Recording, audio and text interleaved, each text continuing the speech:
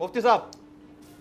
देखो अरबी में एक लफ्ज़ क्या है हाँ। कमा तुदीन तुदान। हाँ। और इंग्लिश में इसका तर्जमा करता है as you sow so shall you reap. reap। जब आप इकतदार में होते हैं तो आप नशा में होते हैं। उस वक्त आपको ये बातें समझ नहीं आती। इमरान खान को जिस तरह पकड़ा गया इसकी तो हम हिमायत नहीं करते। लेकिन आपको नहीं पता कि मुझे पकड़ा गया मुझे तो सत्तर पुलिस वालों ने मारा है। इसलिए कि मैं पॉपुलर नहीं था इमरान की जगह नहीं था तो मेरे कोई बुनियादी हकूक नहीं थे।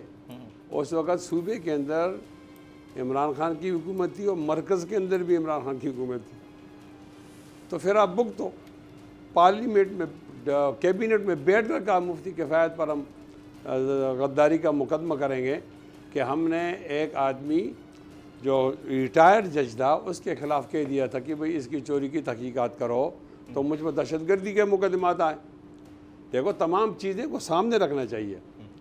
परवेज़ मुशर्रफ पर कैसा आया और सेठ वकार ने कहा कि इसको डी चौक पर उल्टा लटकाओ। यहाँ हाई कोर्ट से जाना चाहिए था खसूसी कोर्ट से जाना चाहिए सुप्रीम कोर्ट। ये इमरान खान चले गए हाई कोर्ट वो हाई कोर्ट लाहौर वाला। और लाहौर वाले हाई कोर्ट इमरान खान से नहीं गए। इमरान खान शुएब साहब कह रहे हैं इमरान खान नहीं गए। गई है। नहीं। इमरान खान इमरान पर्स में तो नहीं जाता। शुएब साहब तो वकील है ना ये तो पार्टी न बने ना। नहीं नहीं। नहीं नहीं नहीं नहीं शौकत यूसुफ से वो इमरान खान नहीं गया मैं हूँ की हुकूमत गई है। पिटीशन आप बिठाएँ भाई हुकूमत गई विफाकी। तो उसका चेयर ये कर रहा था। पिटीशन के मुताबिक तो नहीं क्यों आप उसको बचा रहे हो। नहीं नहीं आपको क्या मजबूरी है? नहीं। नहीं ऐसा हुआ भाई? वो वकील है सर भाई मैं कहता हैं। हूँ, वो कह रहे हैं कि पिटीशन गई है खान साहब खुद नहीं गए यार जमील ऐसा नहीं करो यार मुजरिम को नहीं बचाया करो। अच्छा मैं अगली बात ही बताता हूँ। नहीं तो आप सजा दे मुफ्ती साहब अगली बात मुफ्ती साहब टू गुड अगली बात- आई लाइक इट अगली बात. अगली बात वो ये है कि उन्होंने इसको कैंसिल किया। हाँ। हालाँकि इसको हक ही नहीं इसको जुरिस्डिक्शन नहीं बनती थी। किस तरह एक हाई कोर्ट जाके पेशावर हाई कोर्ट खुद हाई कोर्ट कैंसिल करता है। और जिन लोगों ने कैंसिल किया उसमें से एक आदमी को हाई कोर्ट का जज बनाया हाँ। और एक आदमी को सुप्रीम कोर्ट का जज बनाया और वो आदमी सीनियर नहीं था जूनियर था। मैं नाम भी बता सकता हूँ। जब ये पोजीशन होगी तो फिर होगा।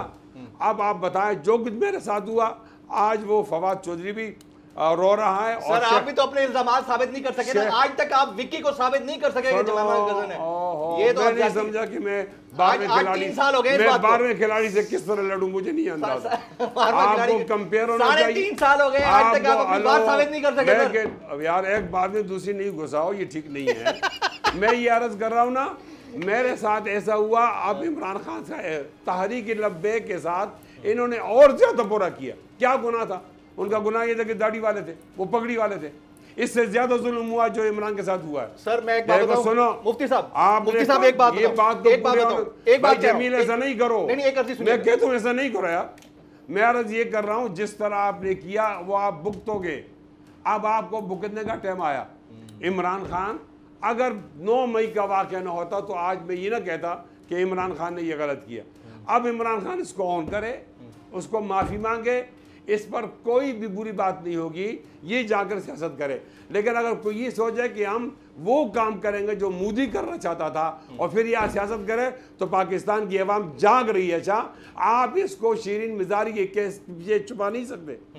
एक अच्छा, और एक- एक बात के साथ बुरा हुआ लेकिन ज़्यादा बुरा ये हुआ कि जब इंडिया ने बगलें बजाई अच्छा, कि हम पचहत्तर साल में जलील नहीं कर सकते पाकिस्तान को जलील कर दिया। नहीं ये भुगतना पड़ेगा। मैं एक बात कहूँगा। आगे बढ़ने से पहले अपने तमाम लोगों को जो मुजरिम है उनको सजा मिलनी चाहिए हाँ जी। कैफिर किरदार तक पहुँच चाहिए फिर सियासत को आगे जाना। सब्सक्राइब करें और बेल दबाएँ ताकि कोई खबर रह न जाए।